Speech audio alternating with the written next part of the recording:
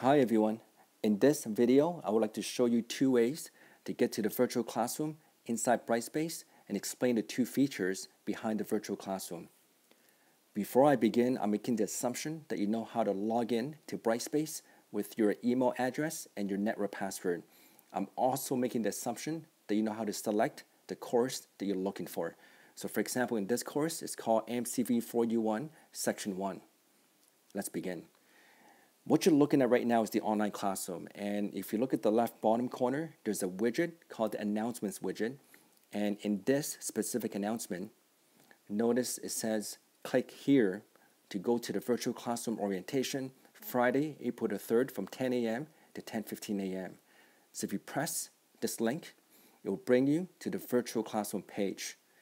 Now, one thing you notice right off the bat is you're not inside the virtual classroom yet. And the reason is because relative to the time of this recording, the meeting will not start until you wait for a day, 12 hours, and 31 minutes. So again, you cannot enter the meeting room yet. So that is the first method to get to the virtual classroom. Now, this is not the best method because I composed this link for you with the assumption that a lot of students are learning online through Brightspace for the first time. So I would suggest method number two. Now, if you go back to the online classroom, at the very top, there's the navigation bar, also known as the nav bar, course home, content, assignments, quizzes, virtual classroom, grades.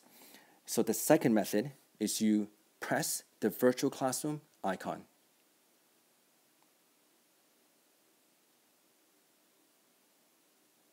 Now, if you look at this page, there are two categories, active meetings and recorded meetings, which I'll get to in a moment.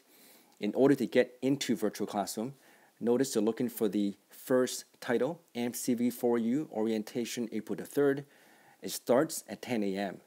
Notice it says 9.45 a.m. That's when you can enter the meeting room.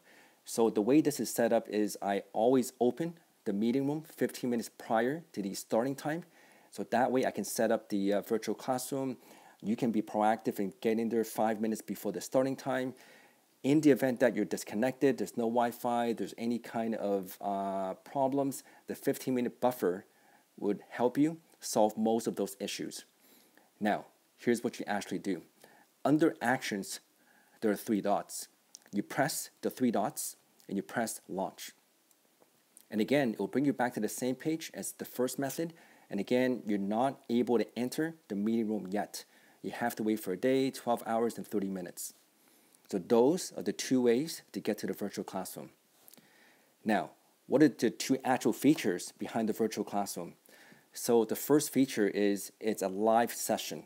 So for those students who are in the actual virtual classroom or the meeting room from 10 a.m. and onwards, you are in the virtual classroom and you can ask any questions. You can make a comment. There'll be a chat, you know, a message board on the uh, left column where you can uh, communicate in real time. So the first feature of the virtual classroom is a live session.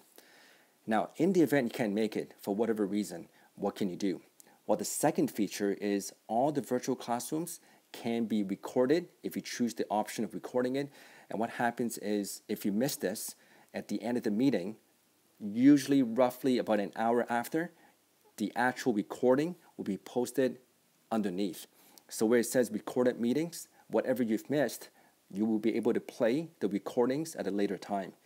Now the only difference is that because you missed a live session, you won't be able to ask actual questions in real time and you can only watch the recording and the finished product.